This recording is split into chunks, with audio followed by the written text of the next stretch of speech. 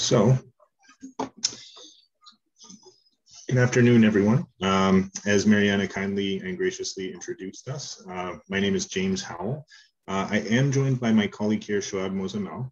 Uh, unfortunately, Anand Karat, who was initially scheduled for um, this presentation, is not available uh, due to um, something that just came up last minute. Um, so there's going to be a slight shift in this talk, but we are going to be able to go over all the same concepts uh, with my esteemed colleague, uh, Shoab Mozammel.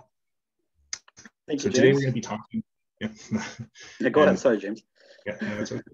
So today we're going to be talking about um, Vretta and our um, our midterm and exam uh, high stakes um, solutions for digital assessments. So we have three offerings here. Um, is a tech ed company from Canada. For those of you who don't know, uh, we are in 63 of 82 publicly funded colleges and universities across uh, the country here, and we're actually in um, five universities. Um, uh, as well as faculties of education uh, across um, the United Kingdom. And we're also in uh, a national organization. Uh, geez, I always forget because it's a six letter, letter acronym. I have trouble forgetting it, but it's a NASBTT, which some of you might be familiar with. Uh, it's a, a provider network association that uh, provides qualified teacher status um, to candidates uh, seeking to become teachers in the United Kingdom, and they do use uh, our products for uh, the numeracy piece there. So today, uh, just we're not going to go through each of them in depth, but we are going to introduce the solutions to you. Uh, we have our Elevate My Math platform, Intro Math, as well as um, the OCMT. I'm just going to pass it off to uh, Shoab from here. Thank you so much, James. Uh, NASBTT is National Association for School-Based Teacher Trainers, right, James? Yeah. Okay, perfect. Thank you. Perfect. So thanks a lot, James. no problem. Uh, thank you so much for joining us on this presentation. Uh, just to give you a roadmap of what to expect over the next 30 minutes, we'll give you a brief overview of our history, get into our product demo, and then we'll delve a little further into our IntroMath platform and our background. So uh, just sit back and relax as we take you through our journey. So who are we?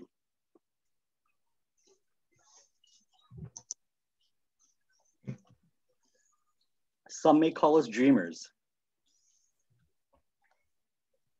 Others may look at us as go-getters. However, we like to define ourselves by our vision, which is a world where everyone enjoys math. Starting from our humble beginnings back in 2010, a dream and a vision was brought to fruition and Vretta was born. From our inception up until now, there's one thing that has remained a constant, and that's our commitment to student success and instructor satisfaction by working closely with instructors and creating a hybrid model and a personalized learning approach for students, which helps create, which helps eliminate math anxiety and fear. And with one-of-a-kind content, which breaks down abstract mathematical concepts into their practical applications and presenting them through an intuitive and engaging experience, we have truly evolved over the years, keeping one thing in mind, student and instructor.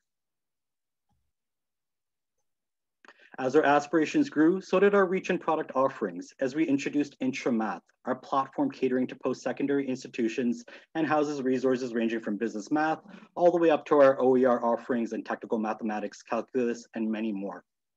Accompanying these resources are interactive and engaging lessons, customizable labs, built in with a unique test bank, which includes thousands of algor algorithmically generated questions and a dashboard to view individual or class performance. James? Thank you, Sean. And as I was mentioning earlier, um, I actually work very closely with the provider networks of NASBTT. Uh, they all have their individual names, so that's also why I don't see uh, this acronym. Um, but for this, we actually use um, uh, our Elevate My Math platform. Uh, we've been engaged with the provider network 19, and we've seen a huge increase um, both at the um, uh, grassroots level for early years, as well as assessment only uh, apprenticeships and um, uh, you know PCGS or PCGE with qualified teacher status um, candidates and trainees who do require that maths test uh, for certification. In addition to the UK, uh, we've also reached into large scale assessments in uh, other parts of Europe. Um, for the Ministry of France, we've worked with them to produce um, a national assessment that's actually offline com uh, compatible. This is for all primary age students in grade three. Um, it works like clockwork every year. Um, they hop on uh, to our system to take a maths as well as uh, a literacy assessment. Um, the unique thing about this is it is available in offline as well as online where the um, uh, the test or, or invigilator would actually download a preset number of tests from the system and then administer it that way.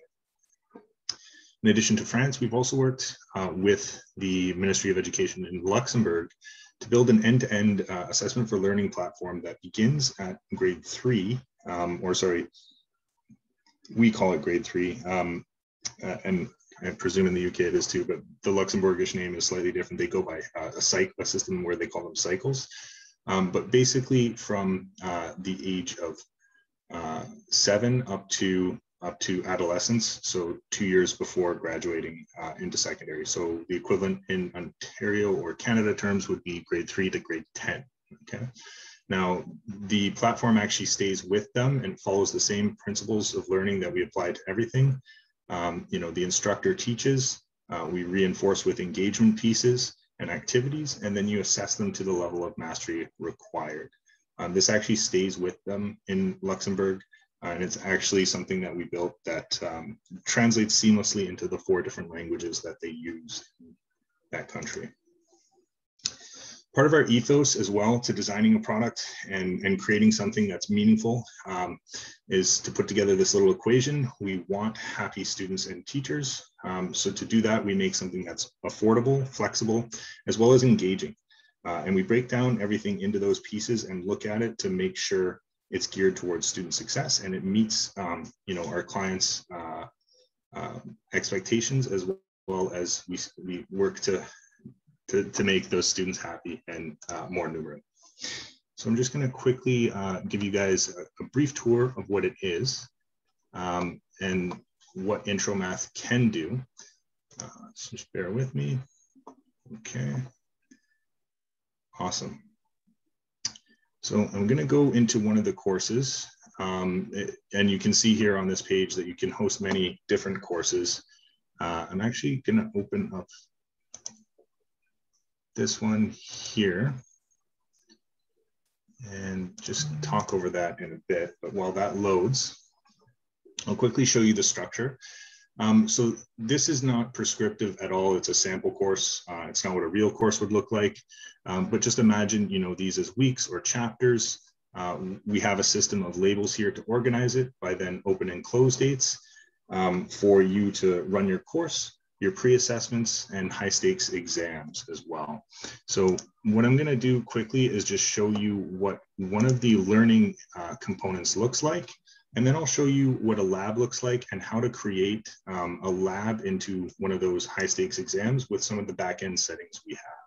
So first, I'm just gonna give a brief moment to look at what the interactive learning components uh, look like in our system. Never stack something high. And forgive me, I wanna restart it. stack something high enough. Make sure the audio is coming through correctly. Hang on one second. And I think we should be good now. If you've ever stacked something high enough, you know that when it starts to lean, it's about to fall.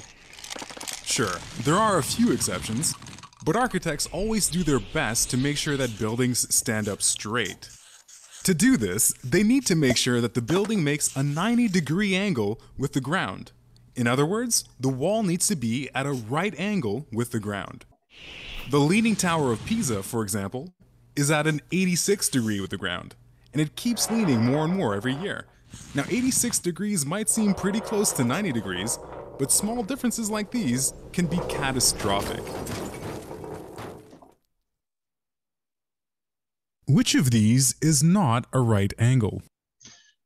So uh, very quickly here, this is one of the engagement points of the uh, interactive lessons.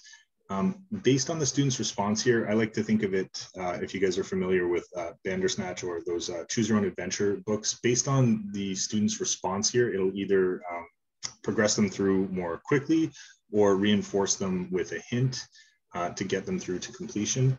I don't have time to go through all the different sequences, so I'm gonna pass this on purpose, uh, but it's these are the adaptive pieces that support learners and really um, provide that personalized learning experience. Okay.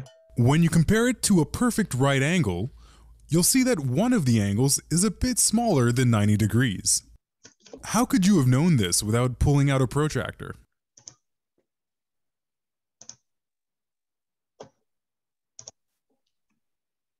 It wasn't that easy to measure this way back in ancient times either. They had to come up with clever techniques to calculate right angle triangles. Here's one of the cleverest ideas, which went on to become one of the first mathematical equations in history the Pythagorean theorem. It works like this take four identical right angle triangles. We'll use these tiles. Each tile is 6 by 8, and the remaining side is unknown, so let's call it C.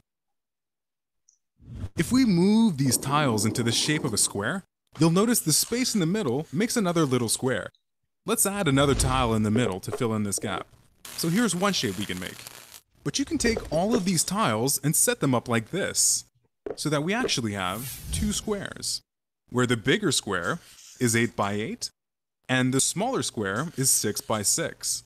Since we used all of the same tiles for both of these patterns, we know that the area for both must be the same.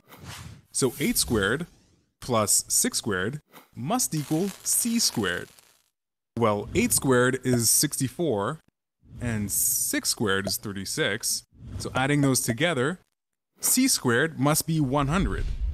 What number squared is 100? 10. And that's how Pythagoras, back in ancient Greece thousands of years ago, was able to calculate any right angle triangle. Just by knowing any two sides of the triangle, he could figure out the third. So this is The Pythagorean theorem brings all the sides. and and the lesson will continue forward because I got um, those first engagement pieces correct. Uh, this is actually one of my favorite lessons. I didn't know. Um, I, I knew a lot about Pythagoras and Pythagorean theorem, uh, you know, as well as the stones and the cave and, and setting that up. But you know, just that visualization of opening it up the other way was not something uh, I was ever taught um, in in my maths lessons. However, I really did like that. So, what I wanted to quickly just demonstrate with that is the internet interactive learning components and modules that we'll put in front of our tests. Now, these are meant to reinforce the concepts you teach in your class um, and, and really provide students that, uh, that other understanding and, and, you know, basically clicking through and working through things in different ways to give them information uh, for different learners. Yeah. Now, um, after you know your lesson sets and your lectures, any Q and A you have with the students will typically include a lab. Um, this will just be you know a very very standard um, homework management system where you're going through questions related in those prerequisite topics that we just saw. And I'm going to show you how the interface looks with no settings changed, and then we're going to quickly build um, one of the exams and go through some of the special settings there. Okay.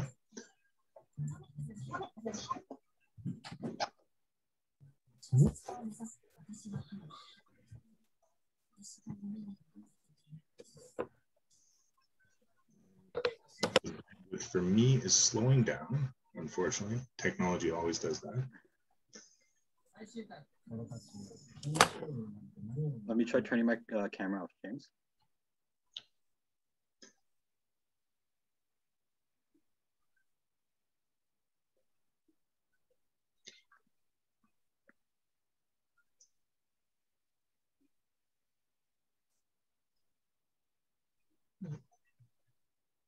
With the condensed part of this form, I may as well just actually build a test. That might be quicker. So here from our uh, instructor uh, interface, you'll have a one-to-one -one correspondence with that uh, resource list. And if you wanted to create um, a new test or exam, uh, you would just create a lab, okay? Name it accordingly. You can call it review for exam if you want to build a prerequisite one. A lot of things that we're doing in today's digital environment is building something um, that's a mock exam uh, for the students. Okay, and that's not working either. But um, with a mock exam, you'll essentially uh, mimic the same settings that are available, um, but just give them unlimited attempts and give them immediate feedback by just choosing variants of the questions. Uh, forgive me, it looks like I'm not having enough bandwidth for this. Um, what I can do, Shoab, do we have slides that go over some of these things? Um, let me check, James. We do. I think we do, yeah, because we have some IntroMath slides after this, so I we can just go apologize. over those. Yeah, And what I can do is if anyone wants access or a sample, I can always give them to it on your local. I think with just the amount of people here, um, it's not uh, it's not rendering properly uh, with my wireless at home internet. But uh, from here, I'll just uh, maybe go over some of what you can do in our system. So uh, we have um, different response types for questions to pick from. As Shoab mentioned, we have over 13,000 uh, algorithmic questions uh, with variants within themselves, as well as different performance expectations to choose from. So we have, you know, the classic, um, you know, select, multi-select, so your, your multiple choice questions. Uh, we also have constructive response type questions technology enhanced uh, multi-step or combined questions that are assessing different ways um, and you know expecting the student to carry one calculation into the subsequent one. Uh, and we also have tabular um, graphical questions as well. And one of the really really neat things we've developed for um, our learning as well as testing is an algebraic logbook okay? Now here it's actually showing you financial calculator uh, settings, but it does have the ability to give the student a full equation editor and write in math typeset. We initially designed this for um, our pre-calculus and calculus students so they could write in um, uh, functional notation and work through things that way before they submitted the answer. And the really cool thing is we're seeing uh, more and more of this being used for high stakes exams where, you know, you might want a student um, typically to write something and then take a picture, submit it on Dropbox, Instead, the tool is right there next to them while they're in the assessment. They can't leave the assessment. They're writing their submission there. And we build test questions that will say record, you know, all the steps and sequences you can. They can write in plain text. Uh, they have an equation editor and they have tables to build and submit right in the platform. And it's very intuitive and super easy to use. And you can see each and every um, uh, submission by the student. Now, one of the other cool things you're seeing here is it says validation inactive. That's because this is from a test. Um, but the algebra tool does have a validator where um, if you wanted to set it up in practice mode where one line's logical congruence to the next will be indicated to the student as they're working through the problems. Uh, obviously for a test, you'd want to turn that off, but it does allow them to simplify quadratics and higher level maths um, in, in, a, in a personalized environment. Uh, just quickly, some of the um, different dashboards and analytics you would have here. Um, this is basically looking at your assessments and what you want to see typically is your um, assessments coming in to the program before they go out uh, will have an increase. And you can see here in one topic in the fourth module, a significant increase, uh, which is good to see. This is actually aggregate data for 100 and 78 students I'm seeing. No, 175, sorry. It's a bit smaller on my, my laptop here. But the, these dashboards actually let you see the progress in real time. Um, all of these little colors, uh, I'm not gonna actually show you these because if I clicked on it, it would reveal students' names, but they are clickable and it would show you each and every attempt where they got it, uh, time on task, the average completion per assessment item, um, as well as the success rate of that assessment item uh, in the platform. So you have a bird's eye view and you just click and click and you go down into further and further minutia. Um, another thing we do here uh, is we'll build um, optional conditional assessments. So what you're looking at here um, is actually something from our Elevate My Math platform where they'll go through uh, different assessments and based on the score achieved in there, they'll get access to the proficiency assessment or not. Um, and then we also have things like a challenge test. Um, so if they did fail something or they didn't um, get to the appropriate level of uh, mastery, they would have something else that would open up to them alternatively. So um, that's the difference between, you know, they're both after measurement here, but one student might get this where another one will get um, something else. Now, all of our assessments have algorithmic shuffling. Uh, we have bucketed questions and we have the ability, uh, it's unfortunate I didn't get show you this, to um, you know, set up question, uh, required question submission, where the student could not um, move on to the next question until they submitted that one. Um, but what's cool about that is, uh, you know, it does always give the student the same type of performance expectation and performance area in the test design. So when you're using that modify labs and exam tool, um, you set the parameters for where it's going to shuffle and, and you select from the test bank what variants are, are potentially there to appear to make sure the performance expectations are equal. Uh, you wouldn't want one uh, student to get a question that calculates volume in grams, which shouldn't be the case and then another student who gets it um, calculating in milliliters. So um, we do have a really cool mapping structure behind that. So I, I, just want to quickly talk about the uh, value proposition uh, as we come up to the close here. Um, intro math, uh, it does help overall success. Uh, we do have research showing that it helps specifically in first semester retention rates. Um, it's designed to be affordable and flexible.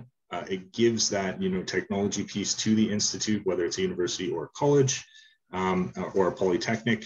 Uh, you know, to increase that student awareness and perception that they are living in the current world uh, with technology.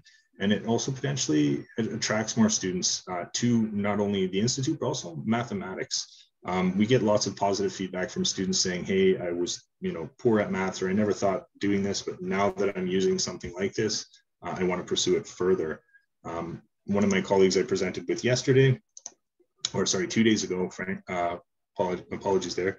Uh, he had lots of student testimonials at his university the university of derby. Uh, the recorded session is there as well. I encourage you to go back and look at it in case you missed it. And i just wanted to quickly touch base on our um, our, our, research here. Uh, so there was uh, a, a provincial-wide initiative with all 24 colleges here, as well as the ministries of education. This is where we built out most of our test banks and assessment items, as well as the technology to do this. Um, and from Ontario, we've now gone on abroad, um, but it was a 10-year research project with psychometric analysis on all of the items. And it was uh, quite comprehensive and uh, quite lengthy. I did have links to that, and I will post them as well um, on underneath the questions following this so you can download some of the research because I know you guys are interested in it. And I wanted to quickly mention because this came up my other one, um, my other presentation the other day, all of our systems are interoperable with common VLEs uh, as well as student information systems.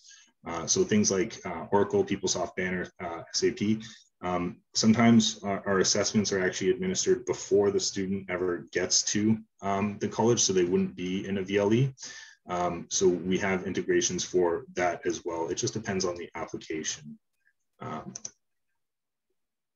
We also have a firm and strong commitment to the WCAGS uh, 2.0 uh, standards. Everything we build is keeping in mind um, as much compliance we can. And, um, you know, everything we do, like you saw with those lessons, uh, tries to engage the student. Um, and we do have alternative formats for all of that. Um, I'm not going to claim we have each and every accessibility requirement there, but we try to keep as compliant as possible and build alternative formats uh, as and where required. Uh, up! I'm losing my voice. I got you, James. Thank you so much. So over the years, we've won many awards, including the Brandon Hall Group Excellence Award, which recognizes organizations who've shown excellence and achieved measurable results through many facets of technology. We've also been recognized internationally for our work, as most recently we've won the Best Use of Formative Assessment out of the E-Assessment Awards. That was for Intromath, yeah. And for Intromath, exactly, yes. Yeah. We are truly global with over 70 staff members spanning across North America, all the way to Europe and Asia. Vretta never sleeps as we work tirelessly to ensure that we are there for both students and instructors whenever they need us. English is also not our only forte as we've built custom resources in, in three other languages, French, German, and Portuguese. So who are we? We'll leave that up for others' interpretation. However, our vision is a world where everyone enjoys math and our goal is to bring that statement to fruition one student at a time. Thank you. Thank you so much to our speakers. That was wonderful. So do we have any questions for our speakers?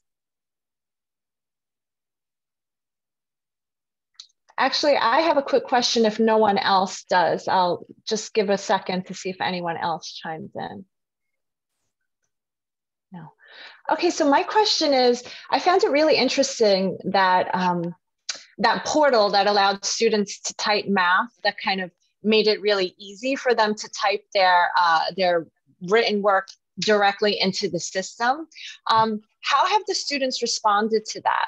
Um, if they're taking a high stakes assessment, um, I would imagine that it would be, you know, easier for them to get a piece of paper and write out their scratch work and go back and forth and, and think through. And the fact that they do not submit that written work, but yet then have to retype it um, into the platform, have they pushed back against that? What, what has it been like in, you know, in use? Yeah, so that's a great question, uh, Mariana. Actually, when we first developed the tool, it wasn't for testing purposes. It was for the students to work through uh, stuff algebraically in, you know, on a computer. So we designed it pre-pandemic, and it was already in use in most of the courseware throughout. So your weekly labs, um, um, your biweekly assignments, your practice assignments all had that, and students were quite comfortable using it in those applications. So for that group, when testing began, it was very intuitive and almost seamless. There was no pushback. Where we saw pushback um, was actually in um, pre-calculus courses. So something like I was showing you a, a math for trades, uh, an apprenticeship, um, or something, you know, uh, dosage calculations in health sciences. Those those groups weren't really using our algebra tool and when the logbook came to uh, testing environments, they weren't familiar with it. Uh, also, the faculty weren't. So we had to um, quickly adapt and uh, provide training. And one of the things I did mention there, we want to create um, mock exams that have the same conditions and same settings, as well as introduce something like technology to students as early as possible so that when they're in the high stakes environment, it's not unfamiliar and new to them. Mm-hmm. So truly, we recommend having something like that logbook if you're going to use it uh, available throughout the entire course. So they're not um, basically so they're familiar with it. The the chart tool and table tool in there uh, is like an exact Excel simulation as well. So they're going to be familiar with these types of technology and using them in different places. But that's a great question. Yeah, and it helps answer it. Sorry. Yeah, no, that that's that's very smart that you ha- give them the the chance to become comfortable with it before you know coming to a high stakes environment. So that makes total sense. Thank you so much. Um, let's thank our speakers again. That was really wonderful. Any questions that we have about this, please put them in the Moodle and the speakers can respond there. We can continue the discussion. Um, the link was put in the chat. Um,